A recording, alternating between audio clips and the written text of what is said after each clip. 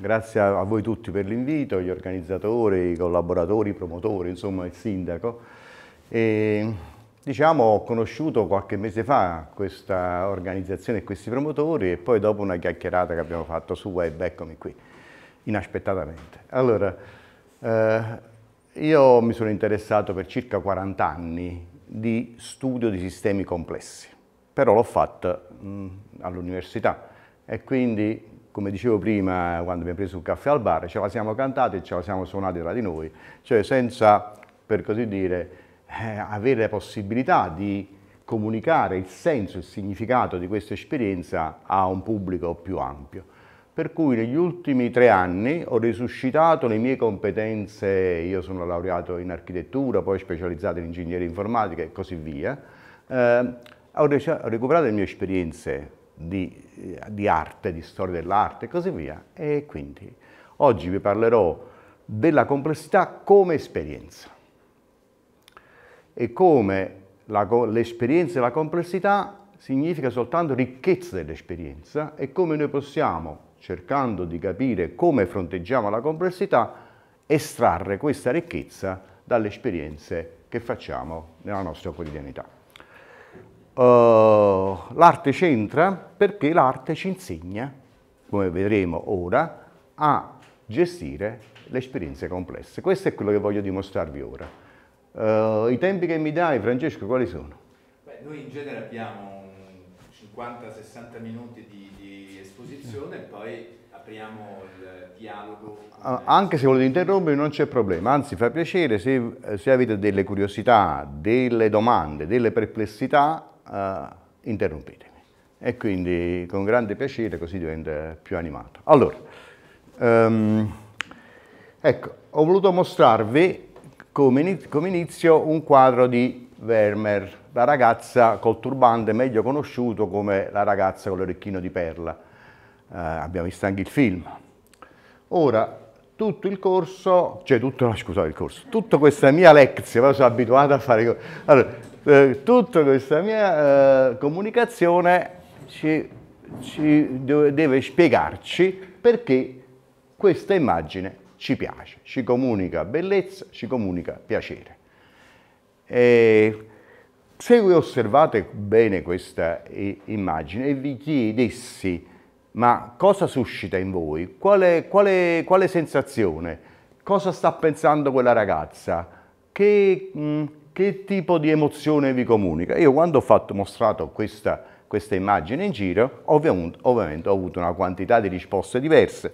Per esempio mi hanno detto a questa ragazza si gira di scatto, è sorpresa, è attraente, è erotica, qualcuno ha detto, poi ha la faccia dell'innocenza, il volto dell'innocenza, è sospettosa, è soddisfatta e così via. Cioè una quantità di sensazioni diverse tutte legittime. Tutto in qualche, in qualche modo c'è sempre un appiglio ogni, in questa immagine per ognuna di queste sensazioni. E questa è la cosa molto importante. Allora, quello che vorrei dimostrarvi con questa mia comunicazione oggi è che questa varietà, questa molteplicità di sensazioni è diciamo, il trucco con cui noi poi sperimentiamo le esperienze complesse, con la differenza che con l'arte facciamo una cosa che non facciamo nella vita, cioè abbiamo, per così dire, un'esperienza simulata che, in cui sperimentare le nostre abilità cognitive e quindi è come se facessimo un esperimento di laboratorio. Quindi dal mio punto di vista l'arte è un laboratorio per affinare le nostre capacità cognitive ed è questo che vorrò dimostrare. Ah, quindi vado direttamente al... salto tutte le chiacchiere, vado, mostro sostanzialmente soltanto dipinti. Allora, se avete difficoltà a vedere, spostatevi, perché così, perché non potete seguire se non osservate i quadri che vi mostro. Allora, questo è un dipinto di Carrà, eh, minimalista, se vi dicesse cosa vedete, tutti quanti sanno descriverlo. Ci sta una, una cabina, una baracca in, vicino al mare, ci sta un albero spoglio, ci sta un ceppo lì, c'è il mare, il cielo, la, tutto come noi possiamo immaginare nella maniera più semplice una spiaggia. Eh, anche, anche questo è abbastanza semplice da codificare, questo è un classico paesaggio inglese di Constable, Anche qui meno semplice di quello, c'è più roba, però se dovessi dire descrivetemi questo paesaggio, non avreste dubbi a dirmi cosa vedete, un lago con delle mucche, un bel prato inglese, la staccionata, tutto sta al suo posto come ve lo immaginate no? in un'esperienza di questo tipo. Già questa è un po' più complessa, questa è la caduta degli angeli di Bruegel e già qui si vede che qualcosa non funziona. Descrivere questo quadro è, è un po' più complesso. Perché? Perché vedete che man mano che, che gli angeli ribelli cadono dal cielo, praticamente si trasformano in mostri e qua c'è tutta una serie di metamorfosi di questi angeli che diventano bestie che, e nella visione medievale della, del, della, della, del demonio, del male, è proprio il fatto che non ci sono barriere tra le categorie dei viventi, quindi gli animali sono una cosa, le piante sono una cosa, poi ci sono gli uomini, poi ci sono tutti quanti gli esseri animati. Quando le cose si mischiano è il demonio che ci sta in qualche modo assalendo. Quindi tutte, tutte queste combinazioni che vedete di elementi inanimati, animati, questi lacerti di pezzi di animale, è proprio il male, no? nella rappresentazione simbolica medievale. Però descrivere questo, questo, questo dipinto è un'esperienza molto difficile. Ancora, ancora più difficile, non so perché ci fai. Allora, ancora più difficile è descrivere questo quadro di Boccioni, il nostro, il nostro maestro futurista, perché? Perché le forme sono indefinite, sono qui nella visione appunto futurista, che i futuristi vogliono esprimere il movimento, no? e quindi qui eh, si vede sostanzialmente il movimento espresso, forse si vede qui la sagoma di un muso di un cavallo, no? Eh, però poi il cavallo scompare, forse qua ci sono delle zampe, però è, è secondario vedere le cose. Qui le cose non bisogna vederle, qua bisogna soltanto lasciarsi fluire da questo movimento e quindi percorrere con lo sguardo questo dipinto eh, proprio seguendo il, questo movimento che fa, che fa Boccioni. Infine... Ok.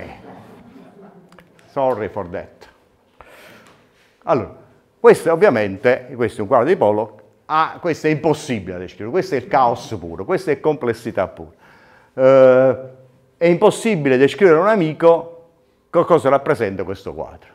No, se volessi dire a Francesco, lo telefono e dice guarda ho visto un quadro di Pollock e lui mi domanda cosa rappresenta, eh, è, un è po' difficile fare questa telefonata. Allora, ecco, quindi, quindi diciamo sostanzialmente quello che vi sto dicendo è che di fronte alla complessità, complessità estrema qua, noi rimaniamo paralizzati perché non sappiamo cosa fare, perché non sappiamo decodificarla, perché non sappiamo oh, sviluppare dei concetti interpretativi, un, una categoria di rappresentazione. Non sappiamo rispondere alla domanda che cos'è, no? E quindi eh, può essere molte cose, ha molte facce, però non, non è che poi mi riesce facile. Ecco, allora, la, per me l'immagine più chiara dell'individuo di fronte alla complessità è data da questo maledetto quadro. Ma perché? Perché questo mi salta secondo te? Che devi premere leggermente. Leggermente. Allora. La paralisi della complessità. Questo è un illustratore americano, Rockwell, bellissimo, che guardate cosa fa eh, mette questo individuo ben pensante a vedere un quadro di Pollock e giustamente, eh, giustamente guarda, guardatelo bene con attenzione. C'è questo individuo di mezza età, piuttosto avanzata nell'età, tutto nel suo gessato grigio, con tutta l'armatura del borghese, l'ombrello, i guanti, il cappello, le scarpe lucide, no, eh, l'atteggiamento, diciamo così, perplesso, rigido di fronte a questo. È proprio il borghese con la sua cultura media, del suo buonsenso quotidiano, che dice, ma questo che va trovando? Cioè, non, non riesce a, a, a, entrare nel senso di questo quadro. Ecco, questi siamo noi di fronte alla complessità. Noi di fronte alla complessità. Questo è il problema. Quindi, allora, la, mio la, la domanda che mi sono posto, come possiamo evitare di fare la fine di questo bonhomme, di questo, lui l'ha chiamato il connoisseur, il conoscitore. Come, fa, come, come facciamo a evitare di fare la fine di questo conoscitore? E quindi ah, come padroneggiare l'abbondanza dell'esperienza complessa. Chiaro? Quindi questa è la domanda a cui cercherò di rispondere. Allora, ovviamente complesso è cosa diversa da complicato. Questa è una cosa complicata. Nella, nella visione della, della, della teoria della complessità, una cosa sono le cose complicate e una cosa sono le cose complesse. Le cose complicate possiamo montarle e rismontarle. Questa bella auto la possiamo montare nei suoi componenti e possiamo rismontare. È quello che in scienza si chiama metodo riduzionista, cioè quando, è come il metodo dell'ingegnere. Io non so affrontare un problema, lo divido in parti, risolvo la parte e poi risolvo un'altra parte e poi rimonto tutto, no? Ecco, questa è l'idea.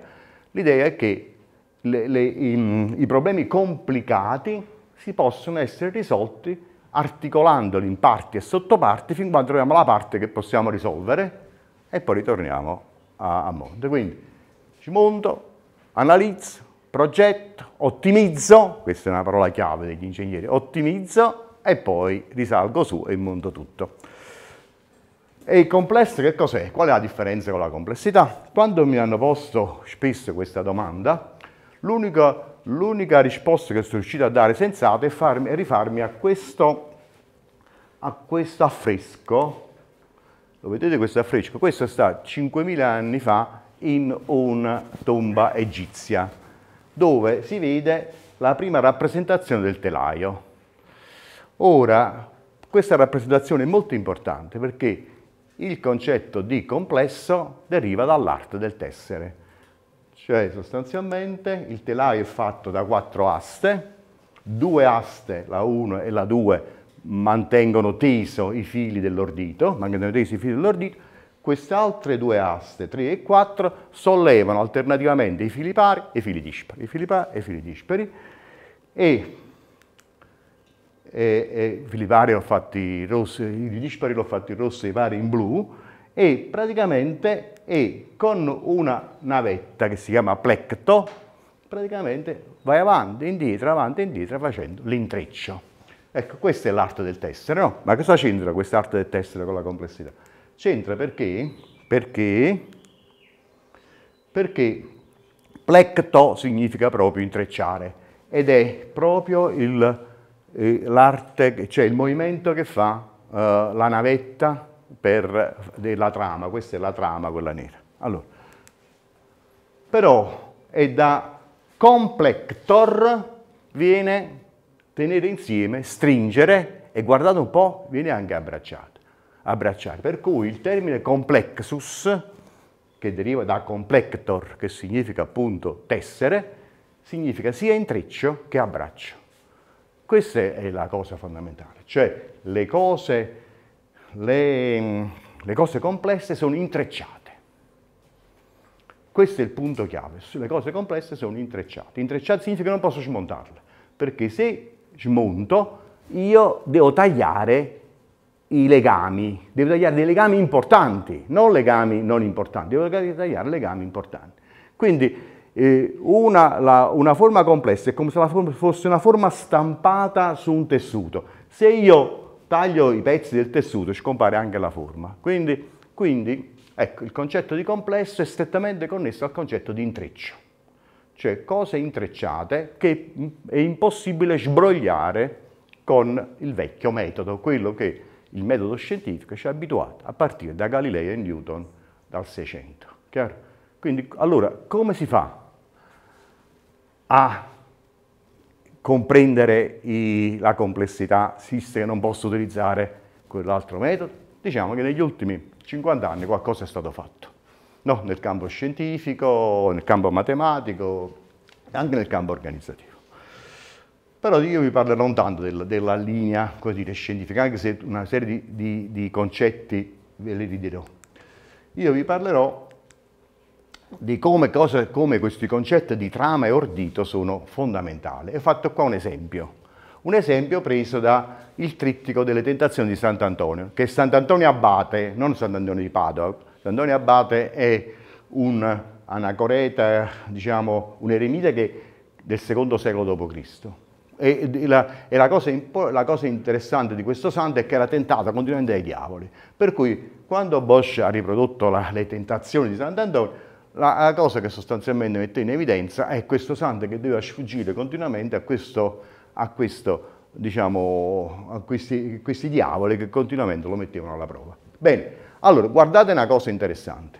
Diciamo, c'è il trittico, poi ci sono un secondo livello di lettura, perché leggere questo quadro è una cosa molto complessa eh, eh, c'è un secondo livello di lettura che oh, sono le pale. Ogni pala descrive un momento significativo della vita del santo. Questo qua è quando si sta avviando a, verso diciamo, la conversione. Qua quando è tentato da tutti quanti i, i, i, i diavoli e poi là in fondo ci sta il martirio.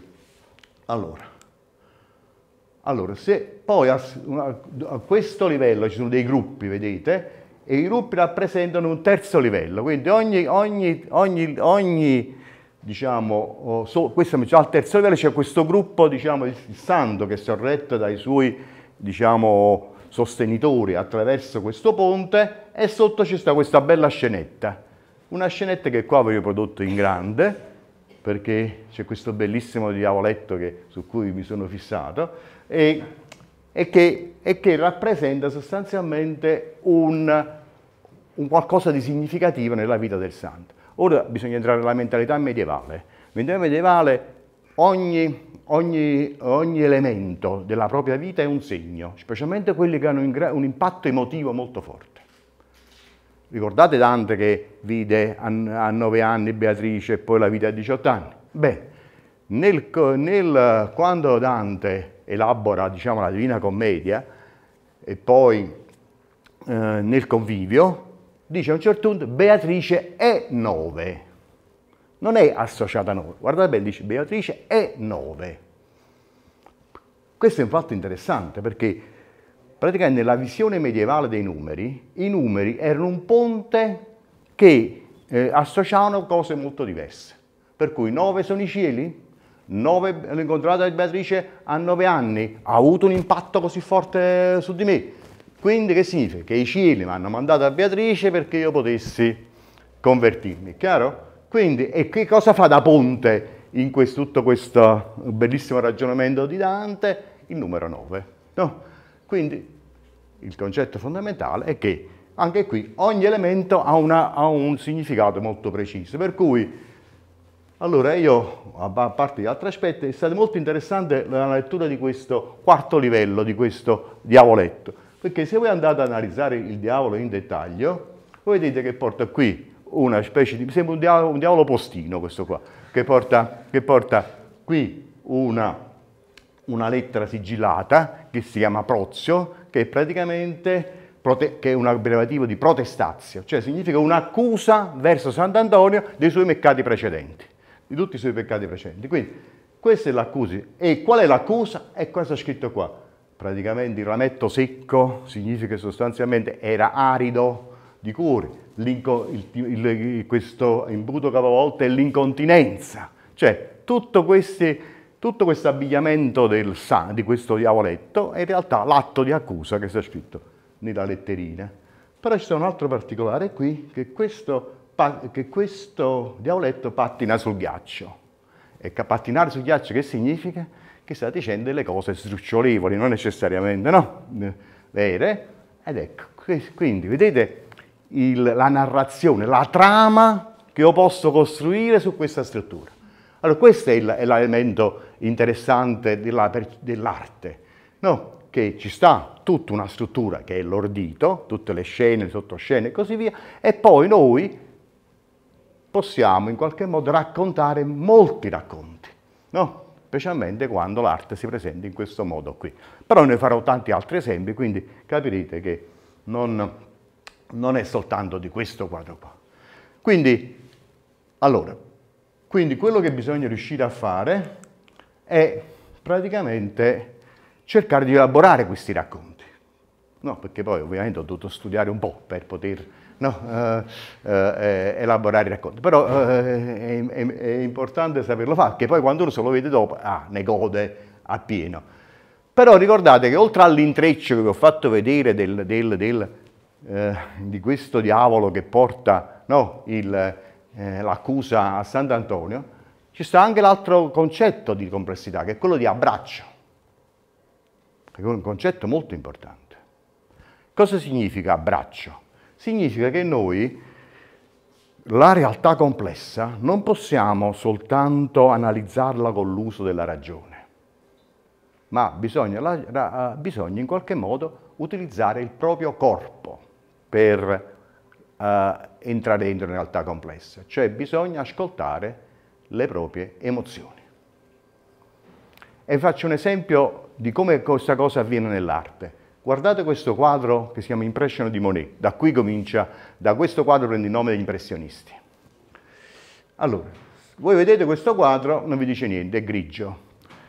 In realtà il quadro vero è questo, e questo se riesco sempre a fare, senza... No, niente, non me lo dà. E niente, e vabbè.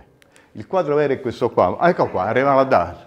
Allora, il quadro vero è questo. Se vedete c'è questo sole qui a, a, nella bruma del mattino, no? E quindi questo è il porto con la bruma del mattino, e il porto di Le Havre, e quindi si vede il sole che si riflette nell'acqua che sta sorgendo. Ora, la cosa interessante che hanno scoperto i psicologi cognitivi e i neuroscienziati è che Mannaggia. Non riesco a calibrare la pressione, non so perché. Faccio così che è meglio. La cosa che hanno scoperto gli scienziati è che quando noi osserviamo il mondo esterno, per esempio visivamente, le informazioni arrivano nella parte posteriore del cervello, qui dove c'è la memoria visiva che distingue in tante sottomemorie. Ogni, pezzett ogni pezzettino di questi sottoelementi, queste parti del cervello, è deputato ad analizzare qualche cosa, i contorni, la profondità, il moto, i colori e così via.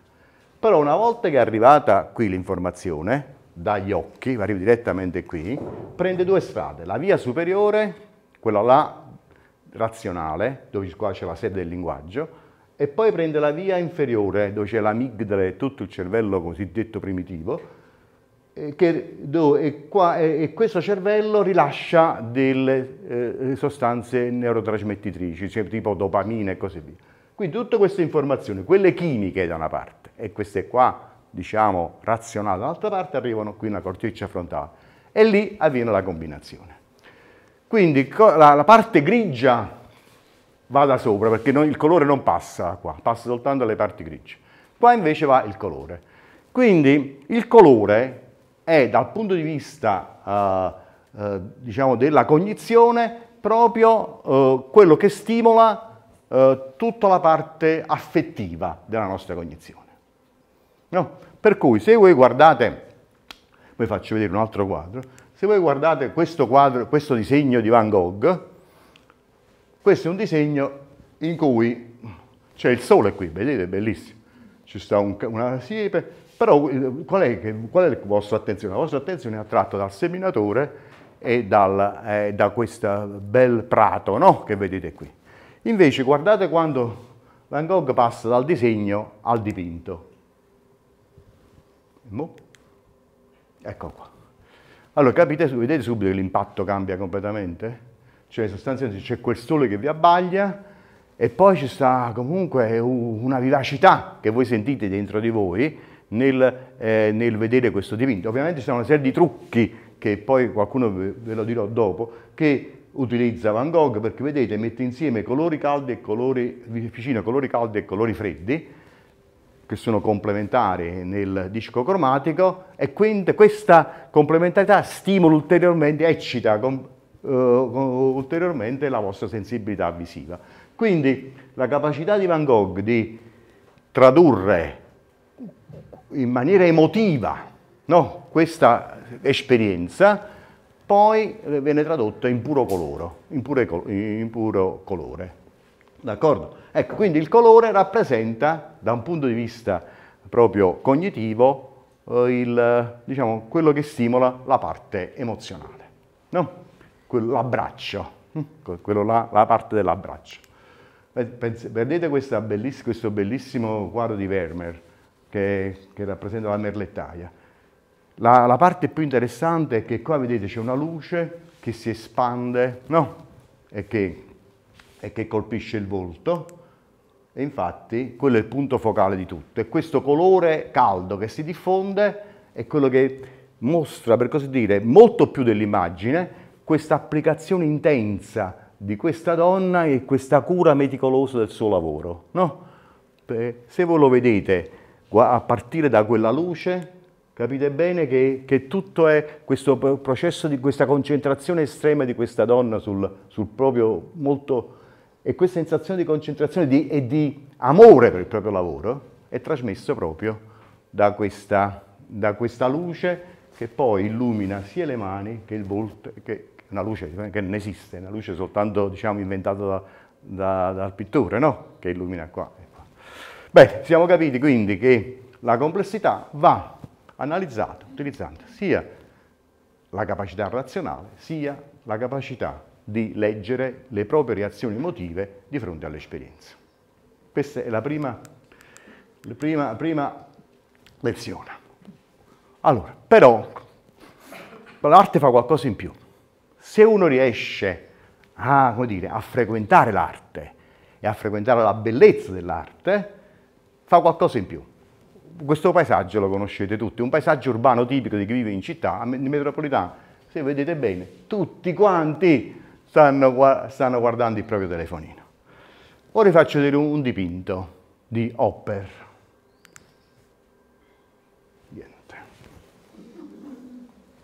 il dipinto di Hopper, dipinto di Hopper del 32, dove, che si chiama Rome New York, una stanza a New York. Voi dall'esterno di questo edificio guardate nella stanza e vedete che ci sta questo signore che sta leggendo il giornale e quest'altra signora, signorina che sta con, con, con, una mano indolente. Ton, ton, ton, no, Ora, la cosa interessante è che è questo senso di solitudine no? di incomunicabilità che danno due, queste due persone. E se voi le vedete, eh, questo è possibile perché voi ci entrate qua dentro, nel, voi entrate dall'esterno, no? in, questo, in questo ambiente, però queste due persone sono, vedete, dal punto di vista percettivo, sono suddivise da questa porta che in qualche modo separa questo sfondo da quest'altro sfondo e quindi già percettivamente, poi questa è la bellezza dell'arte, che vi, vi fa mi mette a disposizione una, una, eh, una esperienza, come diceva eh, Barthes, dove non si butta niente, tutto è funzionale alla comprensione. No? Allora, quindi vi fa vedere questi due e quindi questo enfatizza l'esperienza dell'isolamento, hm? perché no, se mettesse qui un solo sfondo già sarebbe diverso. Vedete, poi crea dei parallelismi, questo rettangolo qua, quest'altro rettangolo qua, queste linee verticali qua, queste linee verticali là, in modo che ci sta una corrispondenza tra i due, non sono estranei, ma c'è un parallelismo e questo parallelismo è fondamentale.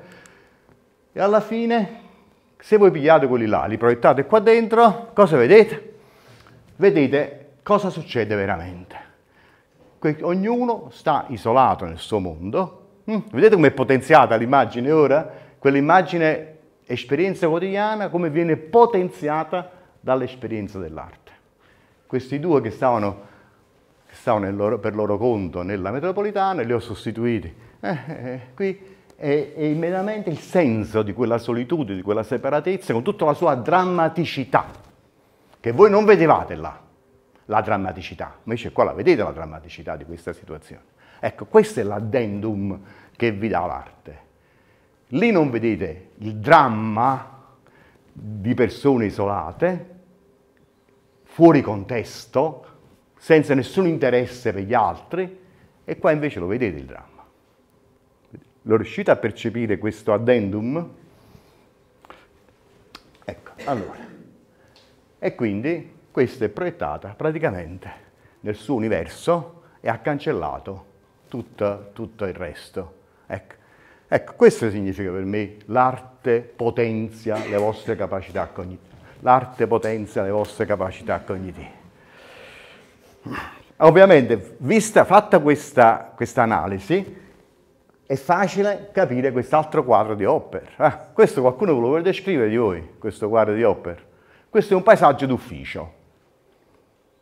Mm, qual è la sensazione che vi dà?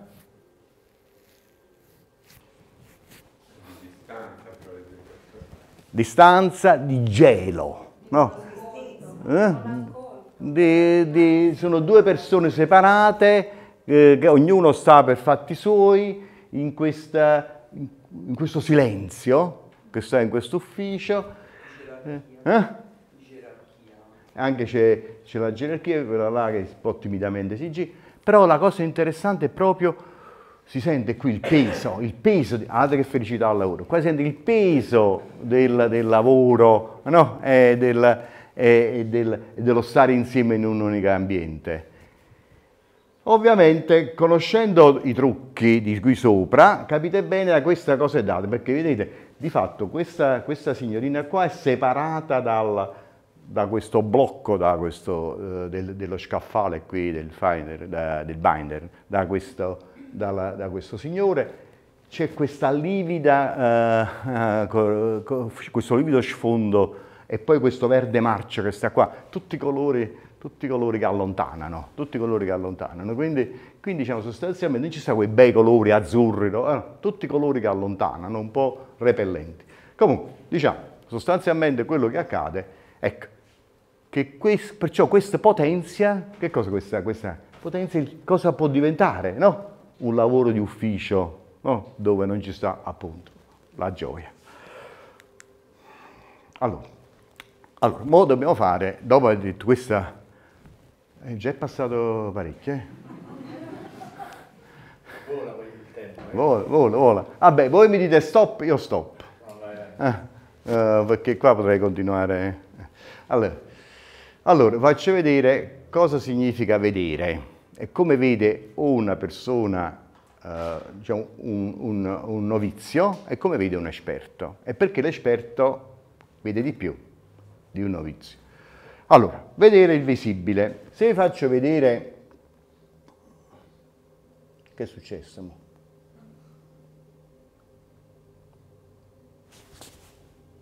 Mm. Allora, la realtà di fatto al nostro sistema cognitivo arriva così, frammentato in tanti pezzi. No?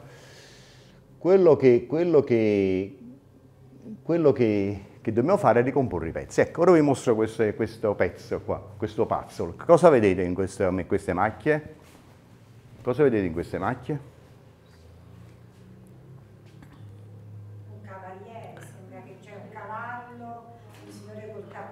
Vedete tutti? Vedete tutti il signore col cavallo col cappello? Ecco qua. Il muso del cavallo, le zampe del cavallo, la coda del cavallo, il cappello da cowboy qua, eccetera. Ecco. Una volta, una volta che l'avete visto, una volta che l'avete visto, non potete fare più a meno di vederlo. Cosa significa? Chi, chi è che l'ha interpretato? Eh, come ti chiami? Rita. Luisa? Rita. Rita, Rita. Rita una volta che l'hai visto non puoi fare a meno più di vederlo, perché eh, quello che è successo sostanzialmente è che tu per poter vedere il cavallo, il cavaliere, eccetera, hai dovuto in qualche modo in tempi rapidissimi riscoprire nel tuo passato di esperienze visive eh, qualche cosa che ci assomigliasse. Poi una volta che l'hai trovato, hai praticamente oscurato tutte quante eh, le macchie che non servivano allo scopo, hm? che non servivano allo scopo, e hai messo in evidenza soltanto le macchie che ti servivano. Quindi hai lasciato perdere buona parte dell'informazione per riuscire a, a trovare una forma riconoscibile, un pattern, cioè una configurazione riconoscibile in base alle esperienze passate. Ecco, questo è un punto chiave. Mm, se non avessimo avuto nessuna esperienza di cavalli o di cowboy a cavalli, sarebbe stato impossibile vedere questa figura. Forse ci sa qualche problemino con la memoria di lavoro. Eh? O se ci sa qualche problemino con la memoria di lavoro. Ah, oppure ci sta qualche problemino. Vabbè, diciamo che non ci sono problemi. Diciamo che, che sì, facciamo che ci sono soltanto le esperienze. Se non abbiamo esperienze di una cosa non riusciamo a vederlo. Chiaro? Quindi è proprio la varietà delle esperienze a cui è stato sottoposto Rite che permette a Rite di vedere, anzi più che di vedere, di estrarre da questo insieme di macchie qualcosa di intellegibile. Guardate, questo è un problema importante perché vedete, vedere è un'azione attiva, non passiva, è un'azione attiva, cioè dovete proiettare all'interno di tutte queste sensazioni delle, degli schemi, dei pattern, delle configurazioni, delle forme. Che poi normalmente a queste forme associate anche delle parole, delle frasi, ma non è necessario. L'importante è potete anche vedere delle cose che non riuscite a dire che cos'è, però riuscite a riconoscere, però non riuscite ad acchiapparle intellettualmente.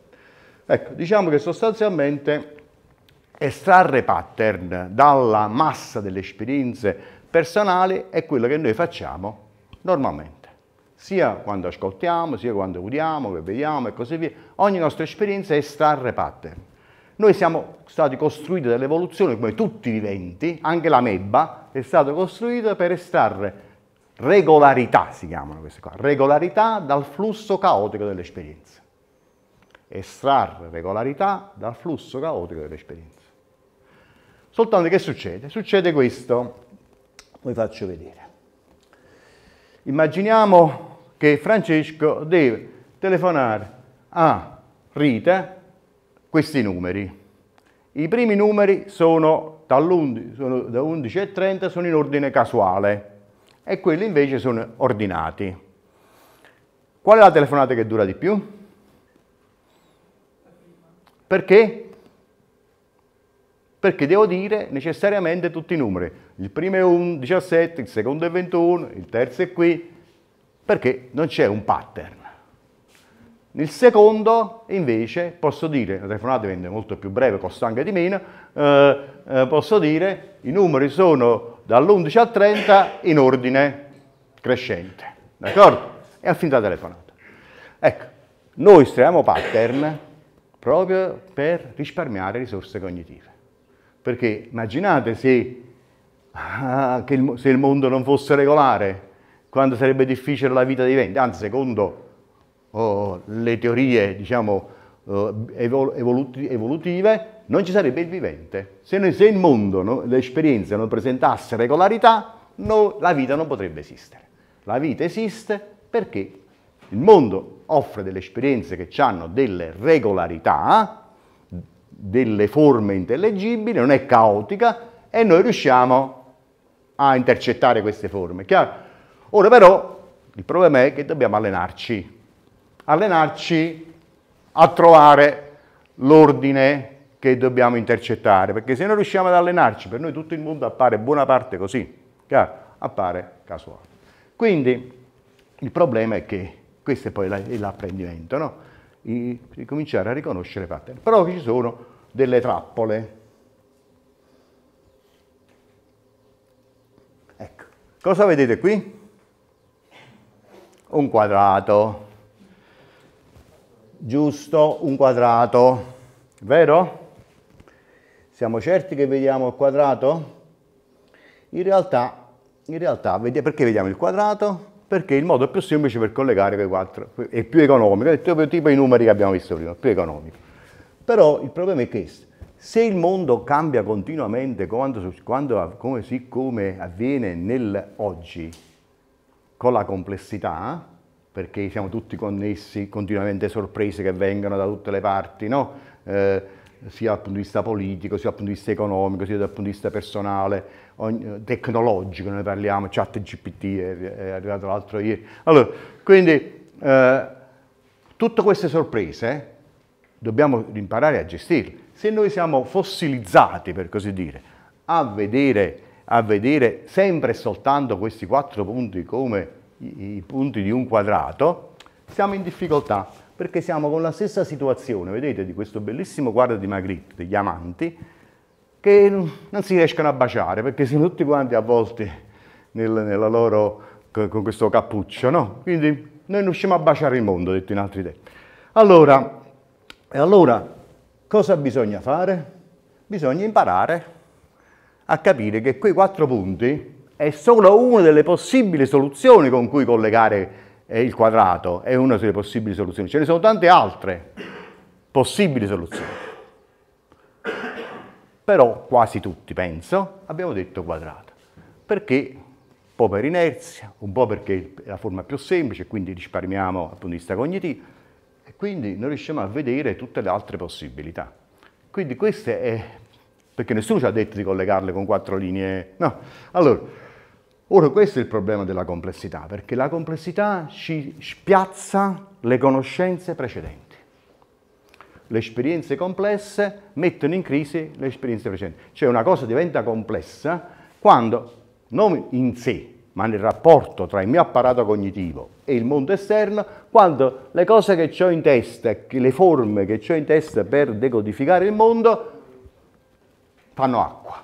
Non, non riescono in qualche modo a dirci le cose come stanno.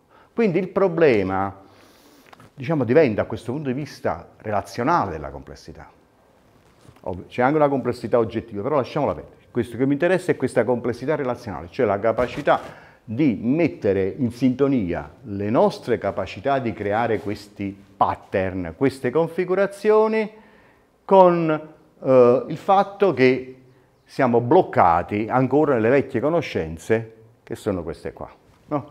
Quindi, insomma, quello che sto dicendo, bisogna allenarci, per, bisogna allenarsi per cominciare a comprendere, a fronteggiare la complessità. Ah, e cos'è che non vediamo? Per esempio, la difficoltà è di vedere, di vedere eh, cose che sono messe insieme in modo incongruo. Questo bellissimo quadro di De Chirico mette un, un, guanto di lattice insieme a un busto di una polla, una palla, un treno che sta là dietro, una cozzaglia di cose, hm? eh, misterio, misteriosamente insieme. Ma che cosa vuol dire tutte queste cose insieme? Noi quando vediamo cose che non stanno insieme così come dovevamo, dovrebbero essere ognuno al posto suo, hm? questo dovrebbe stare in un museo, questo dovrebbe stare in cucina, cioè, chiaro, ognuno al posto suo, insomma, andiamo in crisi. Oppure, quando per esempio in questo bellissimo quadro di De Chirico, ci sono qua, vedete, è un po' strano questo pomeriggio, eh? perché semplicemente De Chirico ha utilizzato due prospettive diverse. Un punto di vista, un punto di fuga qua, un altro punto di fuga qua. Quindi praticamente non è un'esperienza reale, razionale, univoca. Ci sono due punti di fuga, quindi non è un'esperienza che uno vive.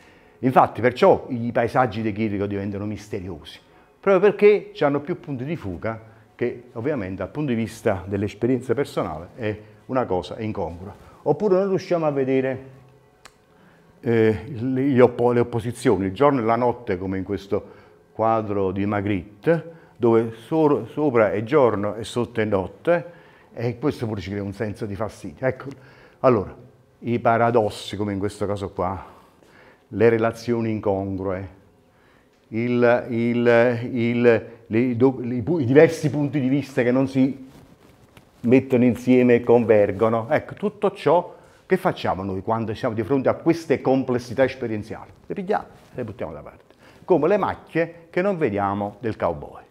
Chiaro?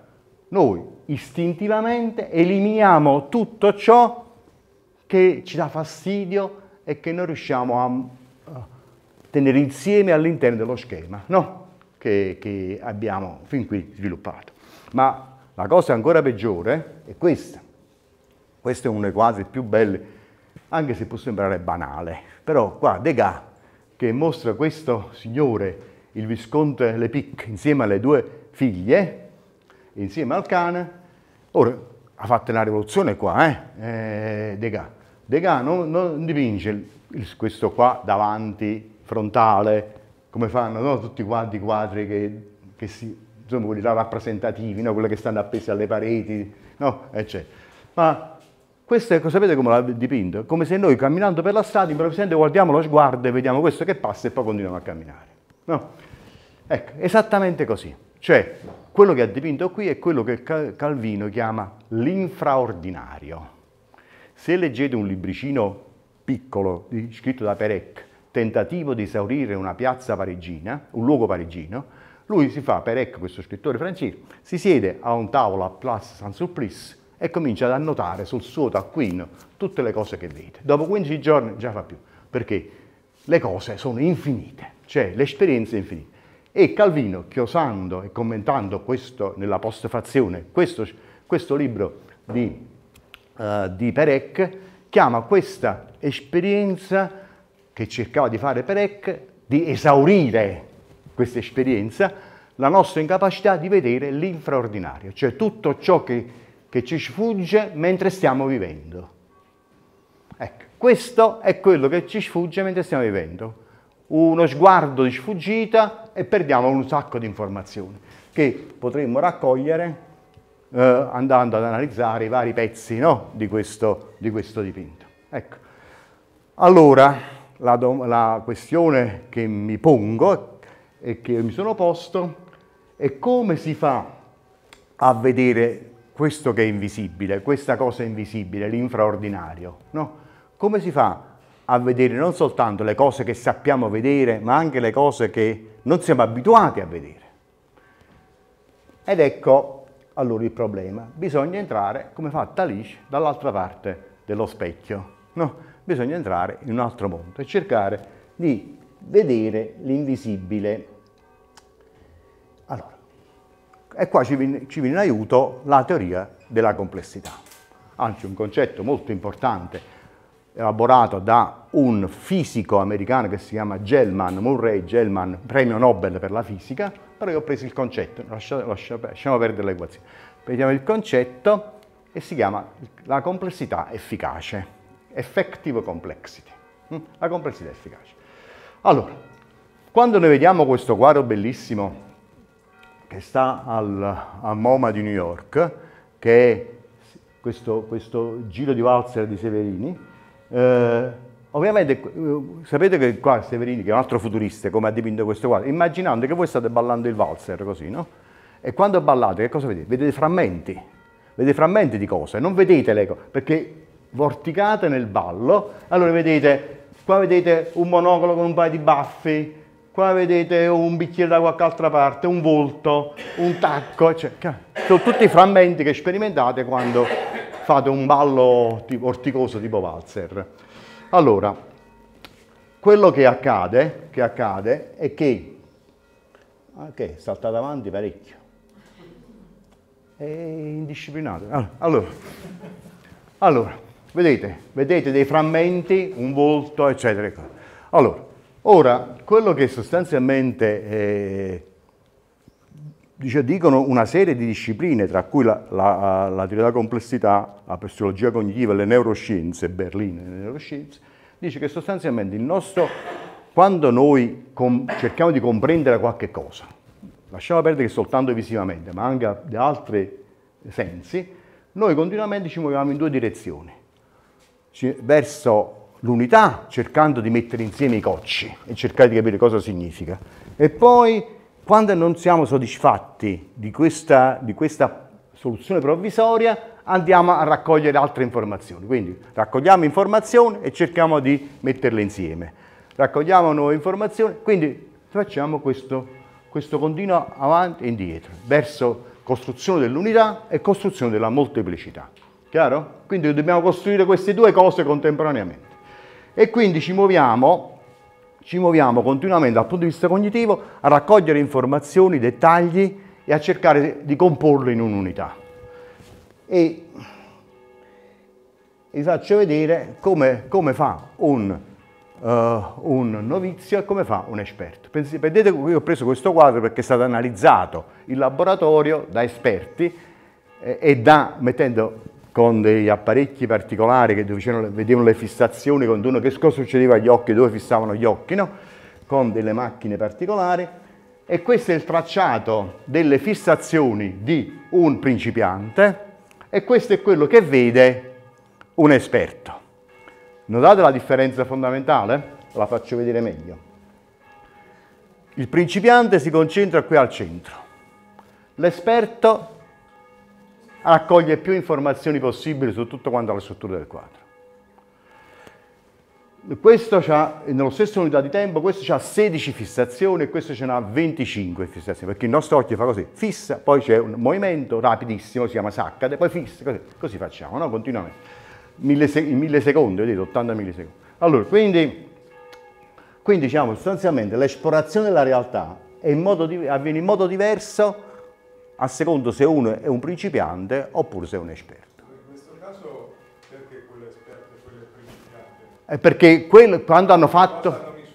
No, allora, hanno preso uno storico dell'arte, che era esperto, non uno, più storici dell'arte, e più persone eh, che non avevano una particolare esperienza di arte o di storia.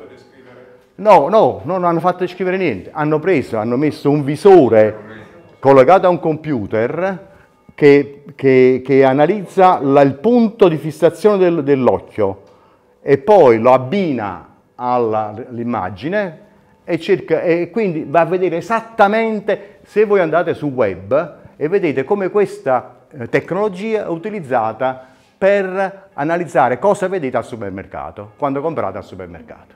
E perché, quali sono le fissazioni che voi avete sugli scaffali e dove posizionare i prodotti affinché li comprate più facilmente, perché vedete quelli. No? andate a vedere e poi se volete vi do anche i siti, però basta fare, basta andare, andare sul web e vedete una serie di riproduzioni molto interessanti. Però la cosa che qui mi interessa è su due cose. Prima, che questo qua raccoglie più informazioni. Poi fa una cosa molto interessante, fa dei salti lunghi. Invece qua fa tutti quanti salti molto brevi e concentrati. Per fare salti lunghi significa che, posso dire, ci vuole un po' dire, di coraggio, coraggio cognitivo intendo dire. Cioè nel senso che tu devi lasciare le cose dominanti che stanno qua, no? che stanno al centro, l'elemento dominante, e andare a vedere i particolari, i dettagli, le cose che non sono dominanti, cioè quello là che sta, no, eh, diciamo in qualche modo l'abbiamo messo da parte, chiaro il ragionamento. Quindi l'esperto ha questa capacità, cioè quello là di assumere più informazioni andando a vedere più cose.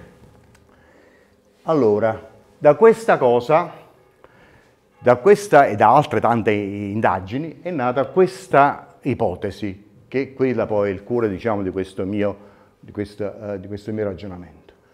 Tra, tra, se questa è l'immagine, noi ci muoviamo tra, tra, un'unità dove tutto è confuso in un solo colore, no? E, e qua invece tutti quanti i pixel, ognuno c'è il suo colore.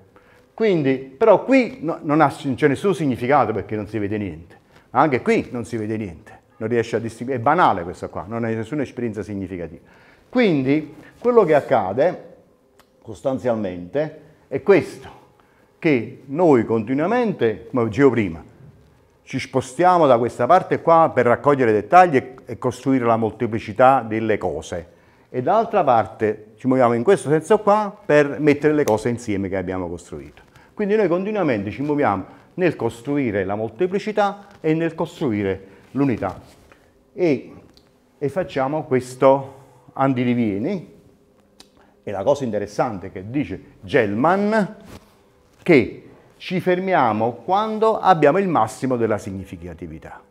Cioè ci fermiamo in una, una via di mezzo quando abbiamo il massimo significato, come ha fatto Rito quando ha visto il cowboy. Massimo significato significa ha, ha buttato poche macchie capite? di tutte le macchie che vedeva, quella, quel, quel, quell'immagine, quel frame del cowboy gli ha permesso di minimizzare, permettetemi questo termine, il numero di macchie che ha dovuto buttare via. Chiaro il concetto di complessità efficace? Detto in altri termini, ha dovuto minimizzare le informazioni che ha scartato. Rendere, questo è il concetto di complessità efficace. Minimizzare le informazioni che non mi servono. Ovviamente però una cosa è che la cosa la fa l'esperto, una cosa è che la fa il novizio, perché il principiante si ferma da, più da questa parte e non osa ad andare da quest'altra parte qua e sta più basso. L'esperto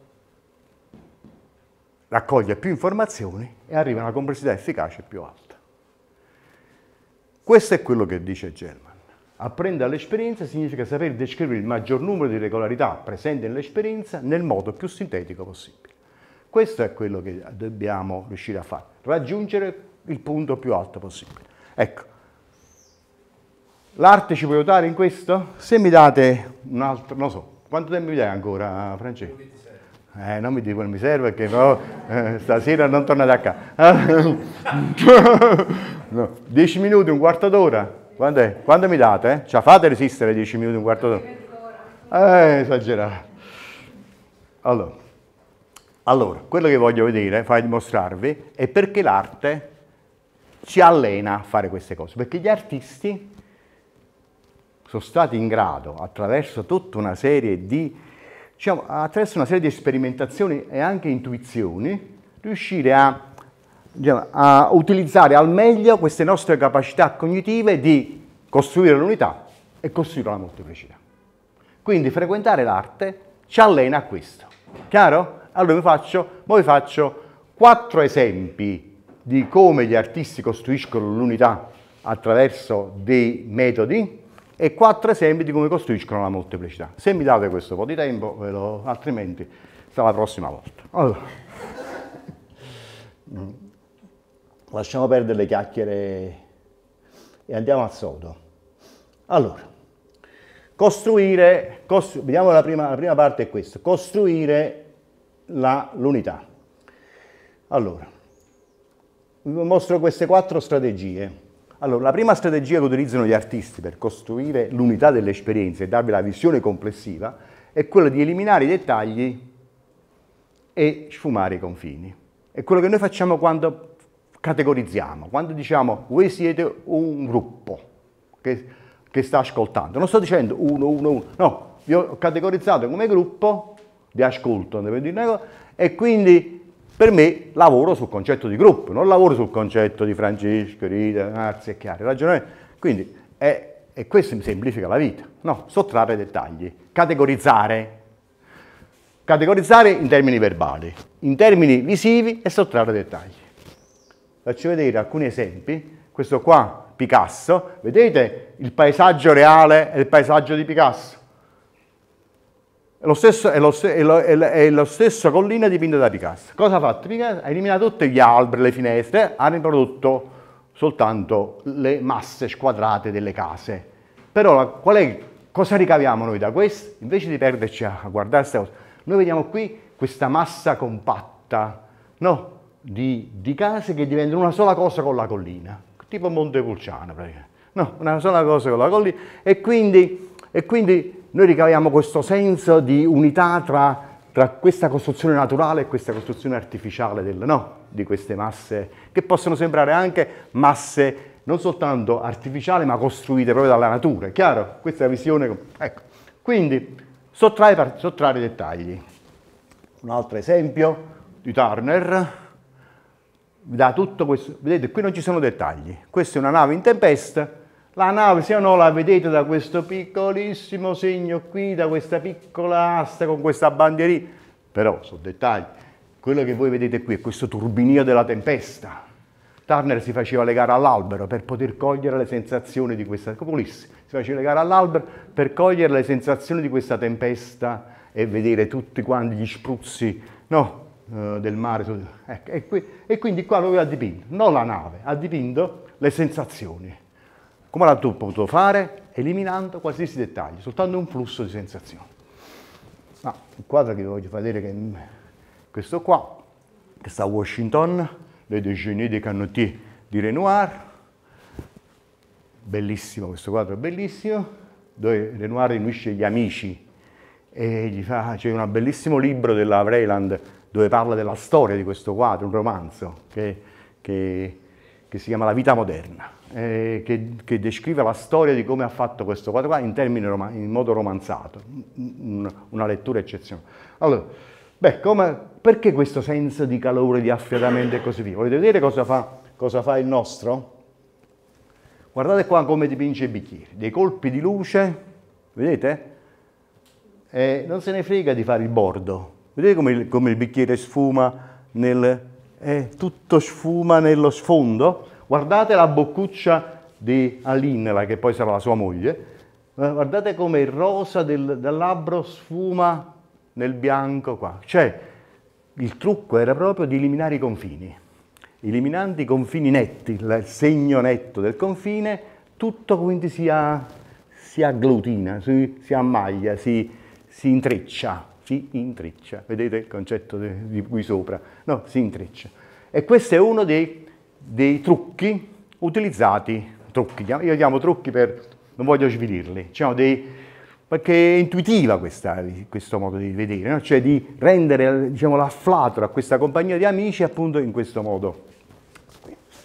Ma guardate questa scultura, è ancora più chiara, no? questa scultura di Medardo Rosso, la mamma con il figlio, e vedete come si congiungono i corpi, no? E dove si vede proprio qua il rapporto d'amore della mamma col figlio attraverso l'eliminazione del confine tra questi due corpi. Vabbè, siamo capiti. Uno dei metodi per trovare l'unità, sottrarre i dettagli, eliminare i confini. No.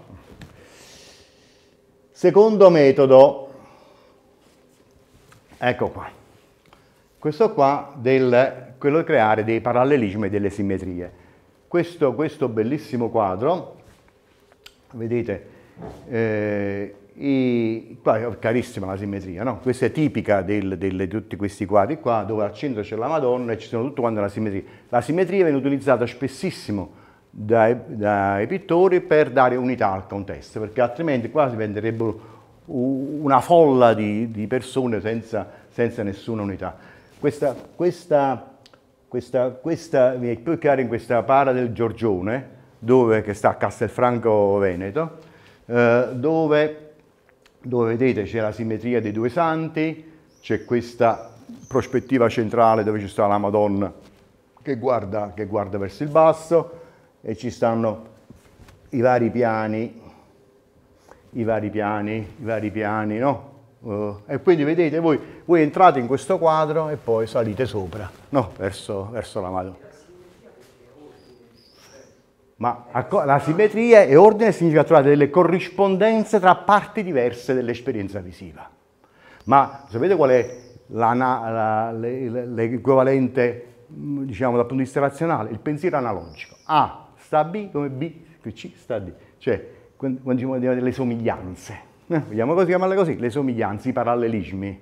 No? E noi, quando, noi, la buona parte del nostro pensiero è analogico. No? lavoriamo per similitudini, somiglianze. Rarissimamente facciamo inferenza logica, A implica B, B implica C. Questo, questo è, è un po' innaturale, questo tipo di...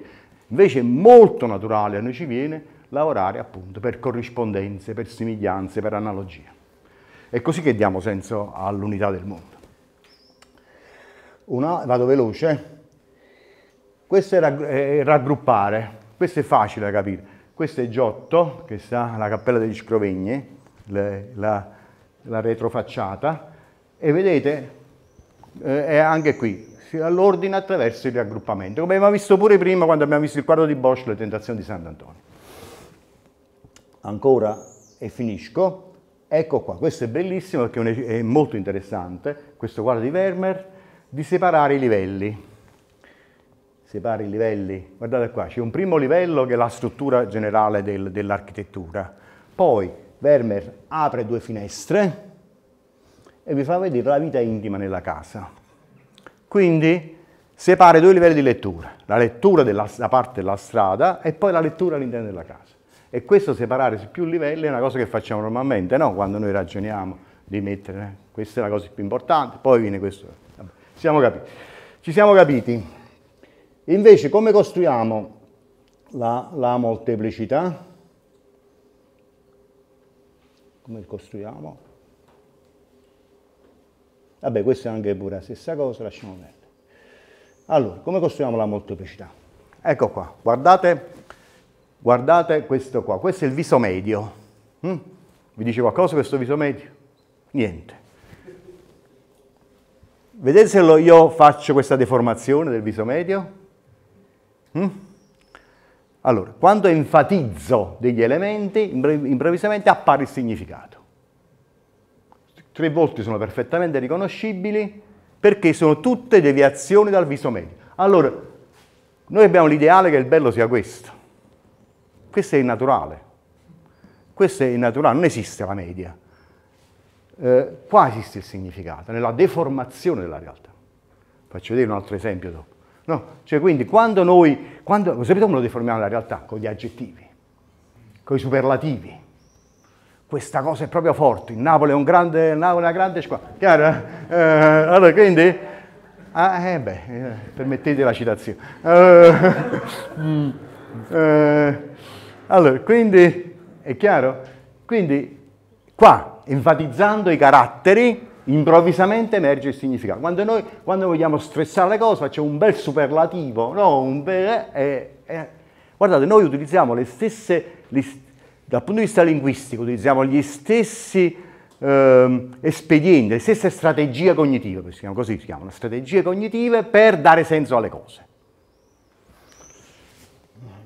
Allora, vediamo un'altra, ecco qua, vedete quest'altra qua. eh? come Modigliani e Schill, deformando il corpo, enfatizzano la spiritualità oppure il dramma interiore no? che vive quel, quel suo autoritratto che sta là dentro.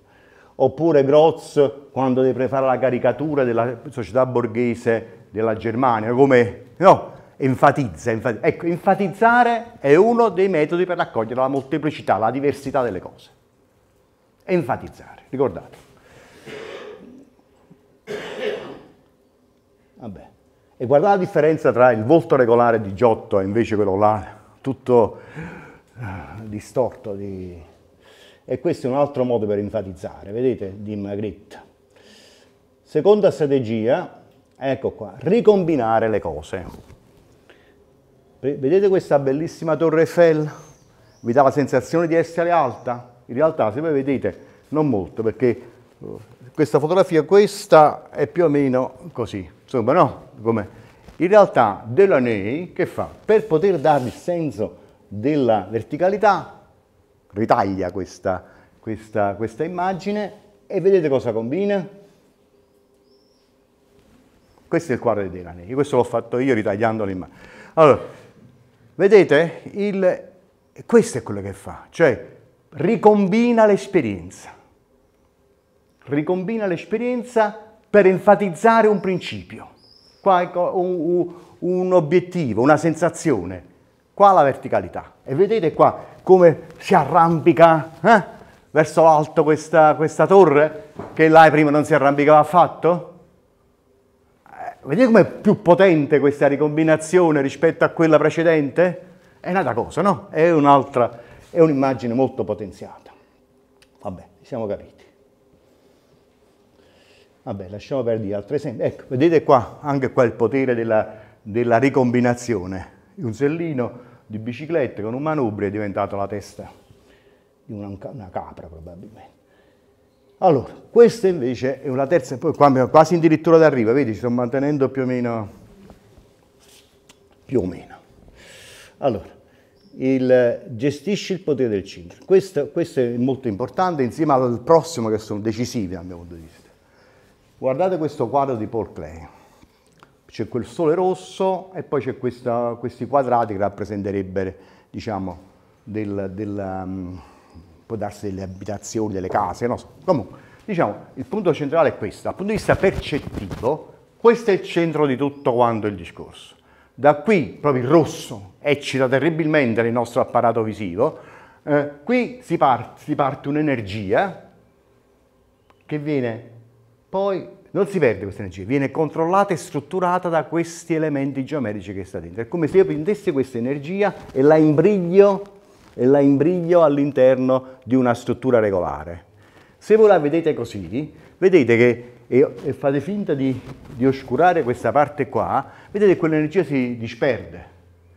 Invece così si incanala e si struttura e dà energia a tutto il quadro. No? E quindi diciamo, ecco, fate questa esperienza qui, vedete?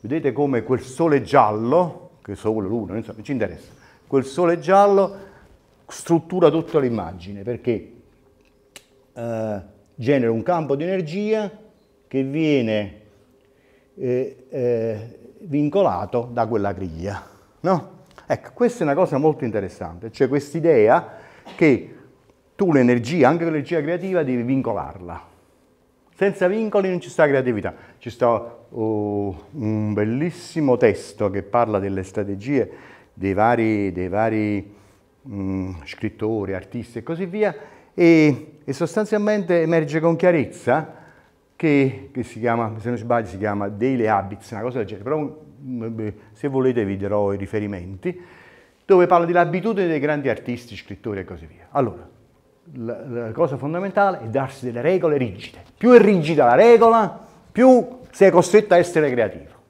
Quindi i vincoli come risorsa per la creatività.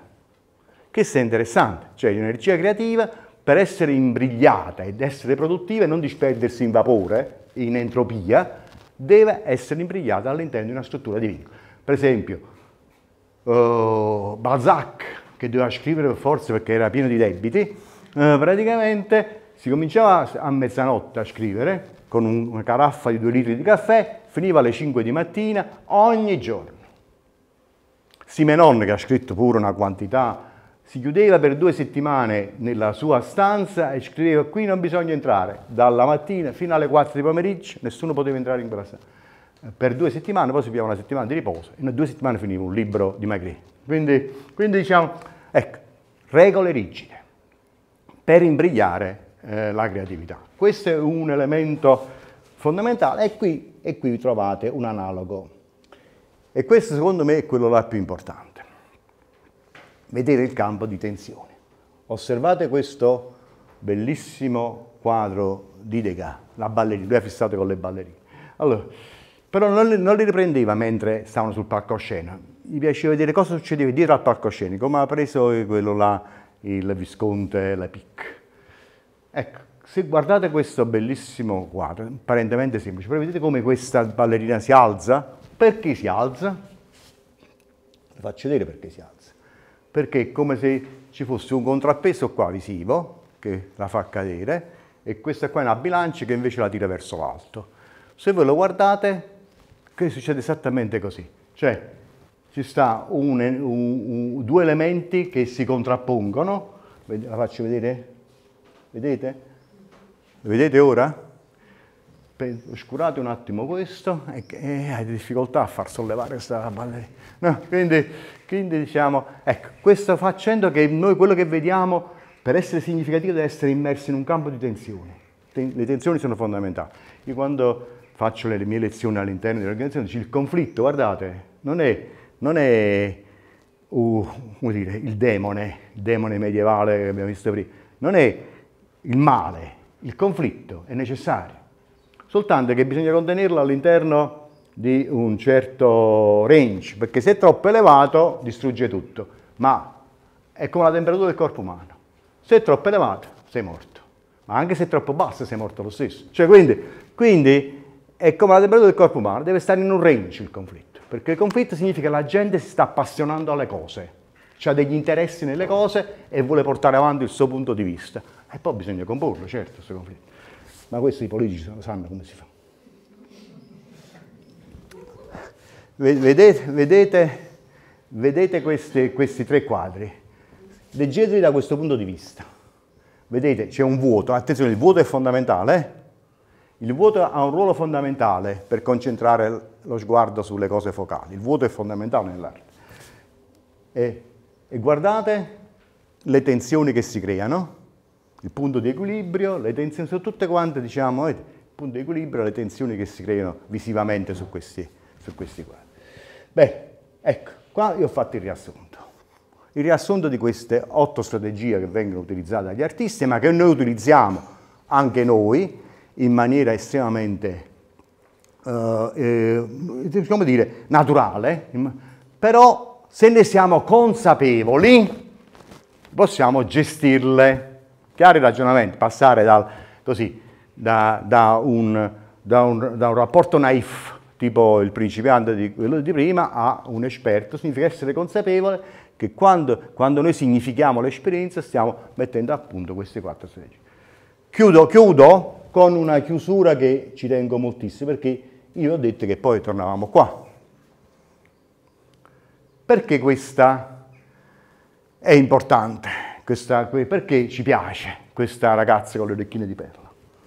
Ragazzi, ricordate che vi ho detto tutte queste cose? Bene, nell'ambito della teoria della complessità esiste un concetto fondamentale che è valido per il nostro apparato cognitivo, è valido anche per chat GPT, ma è valido per tutti i sistemi adattivi complessi, cioè il concetto di attrattore. Cioè quando noi elaboriamo un concetto, noi abbiamo circa 86 miliardi di cellule neurali, neuronali e ogni, ogni neurone è collegato a circa 10.000 altri neuroni, quindi immaginate il groviglio che ci sta. Allora, il, allora, quello che accade quando noi comprendiamo le cose è che si sviluppano una specie di tempeste cognitive, comincia tutto quanto a girare, a vorticare i segnali elettrici all'interno del nostro cervello, fin quando arrivano a un punto di ho capito, ho, ho, visto, ho visto il cowboy. Ecco, quando noi vediamo un'immagine complessa, non ci sta un solo attrattore, ma ce ne sono molti. Ce ne sono molti attrattori.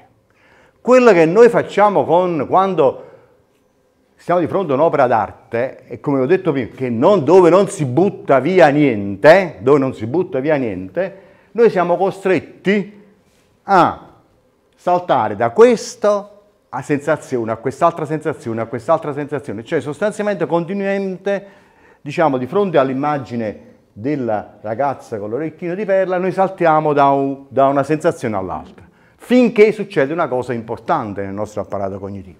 Succede questo, che creiamo quello che nel gergo della complessità si chiama iperciclo, cioè un attrattore di attrattori. Cioè nel senso creiamo una categoria più, più superiore, cioè nel senso attraverso l'esperienza artistica noi siamo costretti a mettere insieme sensazioni diverse e anche contrastanti e quando diciamo è bello, quando diciamo è bella è perché riusciamo, senza anche saperlo perché, a mettere insieme queste, tutte queste sensazioni contrastanti e a costruire l'iperciclo. L'iperciclo è proprio questo concetto fondamentale della della complessità che significa un ciclo fatto di sottocicli. Cioè, ora, qual è il nome che diamo a tutto questo? Non ce l'abbiamo ancora. Un qualche critico d'arte un giorno lo inventerà e troverà un modo, no? Per mettere... Anche noi, quando dobbiamo dare un'esperienza complessa, siamo alle prese con lo stesso problema, trovare il nome che mette insieme tutto. No, non è necessario. L'importante è essere convinti che siamo di fronte a un ordine multiplo che in qualche modo bisogna, di cui bisogna tenere presente, senza prendere una cosa e buttare il resto. Chiaro? Quindi questo è il, il vero insegnamento dell'arte. Quindi, voglio chiudere con questa frase di Scott Fitzgerald, dice il banco di prova di un'intelligenza di primo ordine è la capacità di tenere due idee opposte in mente, qua molte ne ho fatte vedere prima, nello stesso tempo e insieme di conservare la capacità di funzionare. Ecco, questa è la dimostrazione di intelligenza. Quindi quello, il mio invito è questo. Allenatevi con l'arte alla complessità perché l'arte ci allena alla vita. E qua chiudo.